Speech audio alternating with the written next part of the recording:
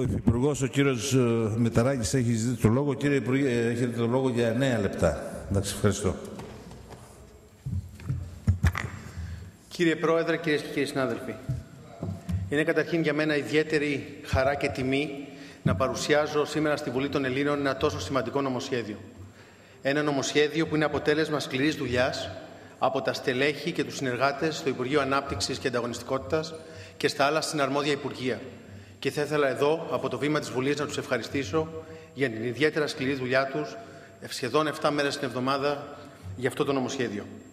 Θα ήθελα επίσης να ευχαριστήσω όλους τους κύριου και τις κυρίες συναδέλφους από όλα τα κόμματα της Βουλής για την επικοδομητική κριτική τους κατά τη διάρκεια της συζήτησης στην Επιτροπή Παραγωγής και Εμπορίου, αλλά και τους πολίτες και τους φορείς που συμμετείχαν και στη φάση της δημόσιας διαβούλευσης.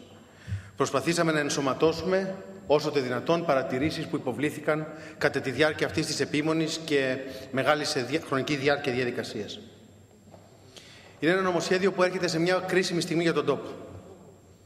Έχοντας καταφέρει στον τομέα της δημοσιονομικής προσαρμογής να πετύχουμε την παραμονή της χώρας στο ευρώ, να πετύχουμε τη δημοσιονομική ασφάλεια, που είναι προαπαιτούμενο για οποιαδήποτε αναπτυξιακή διαδικασία. Καταφέραμε να πετύχουμε τους δημοσιονομικούς στόχους του 2012 και να είμαστε εντός πλαισίων για το 2013. Αλλά πρέπει να πω και να το αναγνωρίσω, όπως κάνουν όλοι οι κυρίες και κύριοι συνάδελφοι, τις τεράστιες θυσίες που έχει υποβληθεί ο ελληνικός λαός για να φτάσουμε εδώ που είμαστε σήμερα. Και ατενίζουμε το μέλλον με αισιοδοξία, γιατί αυτή η χώρα έχει πολλές δυνατότητες, έχει πολλά συγκριτικά πλεονεκτήματα που εδώ και δεκαετίες δεν εκμεταλλευτήκαμε στο βαθμό που μπορούσαμε. Αυτό το νομοσχέδιο είναι μια προσπάθεια σε αυτή την κατεύθυνση για να βοηθήσει στο έργο της ανάπτυξης που σήμερα χρειάζεται τόσο πολύ ο τόπος. Γιατί η ανάπτυξη δεν γίνεται με μαγικές συνταγές.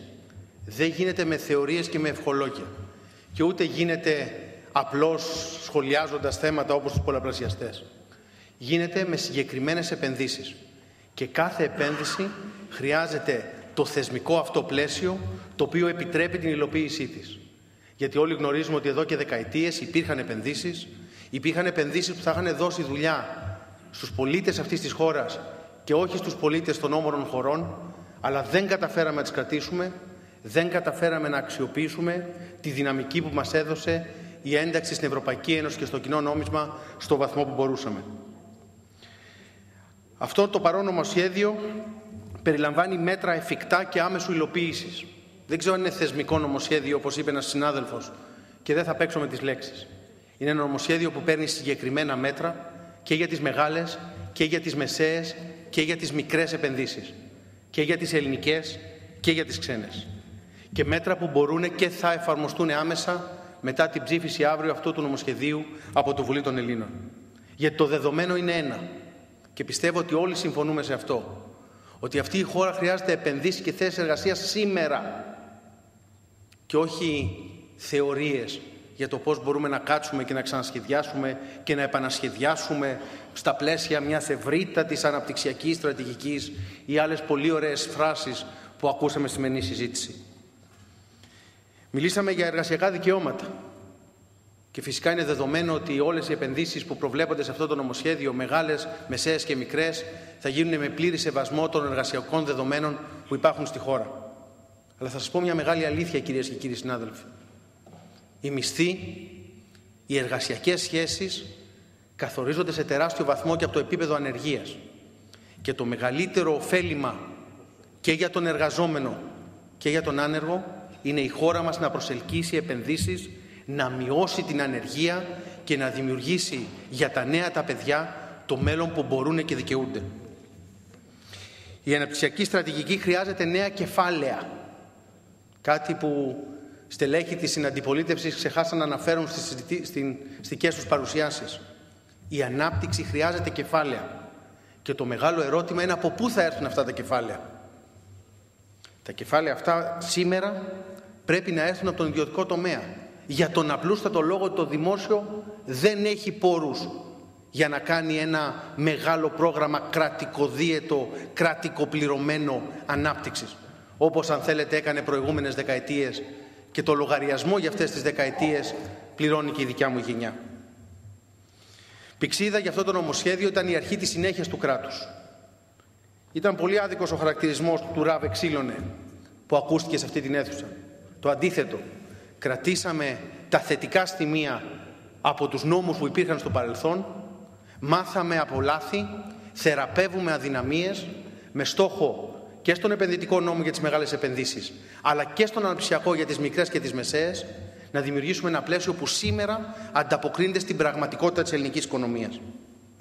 Χρειάζεται παραγωγή νέου πλούτου, όπως είπε ο ειδικός αγορητής του Πασόκου. Το νομοσχέδιο αυτό έχει μεγάλες, δημιουργεί μεγάλες αλλαγές. Πρώτη σημαντική αλλαγή είναι η δημιουργία της Γενικής Διεύθυνσης Στρατικών Επενδύσεων, το οποίο πλέον δημιουργεί ένα μηχανισμό το οποίο καταπολεμά ουσιαστικά, συγκεκριμένα τη γραφειοκρατία. Ακούμε πολλές φορές να συζητάμε γενικά για το πρόβλημα της γραφειοκρατίας. Το πρόβλημα δεν λύνεται με γενικολογίες, λύνεται με συγκεκριμένες δράσεις. Και μία δράση πολύ συγκεκριμένη είναι η συγκέντρωση των αρμοδιοτήτων για τις στρατηγικές επενδύσεις σε ένα σημείο. Στα θετικά της σημερινής συζήτησης αντιλαμβάνομαι ότι όλοι σχεδόν σε αυτή την αίθουσα συμφωνούν ότι αυτό το νομοσχέδιο είναι ιδιαίτερα αποτελεσματικό. Διαφωνούν κάποιοι ιδεολογικά κατά πόσο θα έπρεπε να στηρίξουμε τι ιδιωτικέ επενδύσεις, αλλά σχεδόν όλοι συμφωνούν ότι σε αυτή την κατεύθυνση, στην κατεύθυνση της στήριξης των ιδιωτικών επενδύσεων, ναι, αυτό το νομοσχέδιο αντιμετωπίζει και λύνει προβλήματα. Και αυτό το θεωρώ ιδιαίτερα θετικό. Ακούστηκαν και πράγματα που δεν ισχύουν. Ακούστηκαν πάρα πολλά πράγματα που δεν ισχύουν. Όπως παραδείγματος χάρη ότι στις μεγάλες επενδύσεις θα ισχύει διαφορετική νομοθεσία, περιβαλλοντική νομοθεσία, εργασιακή νομοθεσία είναι απολύτως η ίδια. Αλλάζουν τα εργαλεία και διαδικασίες. Όπως παραδείγματος χάρη δημιουργείται ο θεσμός της πολυάδειας για να μπορούν σε ταχύτερο χρόνο με την ίδια κείμενη νομοθεσία εκτός περιβαλλοντικών να εκδοθούν οι σχετικές άδειες. Όπως δημιουργούνται τα ειδικά σχέδια χωρικής ανάπτυξης στρατηγικών επενδύσεων αντιγράφοντας ένα θεσμό που ήδη χρησιμοποιεί το ελληνικό δημόσιο για τη δικιά του εκείνη την περιουσία, με στόχο να μπορέσει, αντιλαμβανόμενοι όλοι και συμφωνώ με τα σχόλια που ακούστηκαν ότι δεν έχουμε ολοκληρώσει τον εθνικό χωροταξικό σχεδιασμό, αλλά δεν μπορούμε να περιμένουμε και χρόνια και να έχουμε 27% ανεργία μέχρι εμείς να είμαστε έτοιμοι. Για τις μεγάλες επενδύσεις θα είμαστε έτοιμοι από αύριο και αυτό είναι πάρα πολύ σημαντικό. Ακούστηκαν παραδείγματος χάρη ανακρίβειες για τα θέματα της αξιοποίησης της περιουσίας Εκκλησίας και ακούω ότι και ανεξάρτητοι Έλληνες θα θέσουν θέμα της συνταγματικότητας. Περιμένω με ιδιαίτερο ενδιαφέρον να διαβάσω τι μπορεί αυτή η αίτηση της συνταγματικότητας να περιλαμβάνει. Και λέω, ακούστηκαν πολλά πράγματα που δεν ισχύουν, γιατί πρώτον, αυτό το νομοσχέδιο δεν επηρεάζει ούτε θετικά ούτε αρνητικά. Δεν ανακατεύεται σε ιδιοκτησιακά θέματα. Επηρεάζει μόνο περιουσία που ανήκει στην Εκκλησία. Και δεύτερον, φυσικά η Εκκλησία πρέπει να ανταποκριθεί στους ίδιους ακριβώς περιβαλλοντικούς όρους για τα μεγάλα έργα όπως οποιοδήποτε άλλος επενδυτής.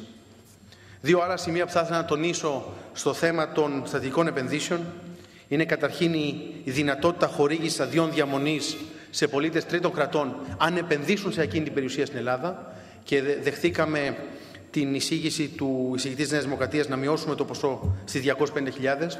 Αυτό θα είναι θετικός καταλήτης φέτος, τώρα, από σήμερα, από φέτος το καλοκαίρι, για την ε, οικοδομή, η οποία έχει πληγεί φυσικά από τη μεγάλη κρίση. Κατά δεύτερον, υλοποιώντας μια προγραμματική δέσμευση του Πρωθυπουργού, προχωράμε στη δημιουργία της εταιρείας Παράκτιο Αττικό Μέτωπο, με στόχο να υπάρξει μια ισορροπημένη και νέα στρατηγική ανάπτυξης για την περιουσία του ελληνικού δημοσίου, δηλαδή του ελληνικού λαού, σε όλο το πλαίσιο από το Σούνιο μέχρι το Φάλιο. Για το θέμα του επενδυτικού νόμου, η στόχη μας είναι η ρευστότητα, η ταχύτητα και η διαφάνεια. Και θα πω δύο λέξεις για το καθένα. Θα ήθελα όμως να τονίσω και να επαναλάβω μια ερώτηση που σας έχω κάνει κύριοι της αξιωματικής αντιπολίτευσης από την Επιτροπή. Μας κατηγορείτε για έλλειψη στόχευσης στον αναπτυσιακό νόμο. Ένα λεπτάκι να αναχύσετε κύριε Πρόεδρε. Και σας ρώτησα πολύ συγκεκριμένα. Πέστε μου ποιους κλάδους της οικονομίας θέλετε να αφαιρέσω από τον αναπτυξιακό νόμο. Θέλετε να αφαιρέσω τον τουρισμό, ευχαρίστως, πείτε μου. Τη μεταποίηση, την ενέργεια, την τεχνολογία, μα πείτε μου επιτέλους. Για το μόνο παράδειγμα που φαίνεται δεν σας αρέσει το άθλημα είναι το παράδειγμα για τον γκολφ. Και έχω την εντύπωση ότι δεν έχουμε και κάποιο αίτημα για γκολφ αυτή τη στιγμή υποβεβλημένο. Θα τελειώσω μιλώντας επί μισό λεπτό για αυτά τα τρία σημεία του αναπτυξιακού νόμου. Ρευστότητα. Δίνουμε το 100% της επιχορήγησης μπροστά με εγκυτική επιστολή. Διασφαλίζοντας έτσι τα συμφέροντα του δημοσίου, αλλά από την άλλη δίνοντας απαραίτητη ρευστότητα στην αγορά. που είναι κρίσιμη για την πραγματοποίηση αυτών των επενδύσεων. Μεταφέρουμε όλα τα κονδύλια ρευστότητας στις μικρομεσαίες επιχειρήσεις. Και αυτό μέχρι στιγμής δεν έχει σχολιαστεί στην αίθουσα.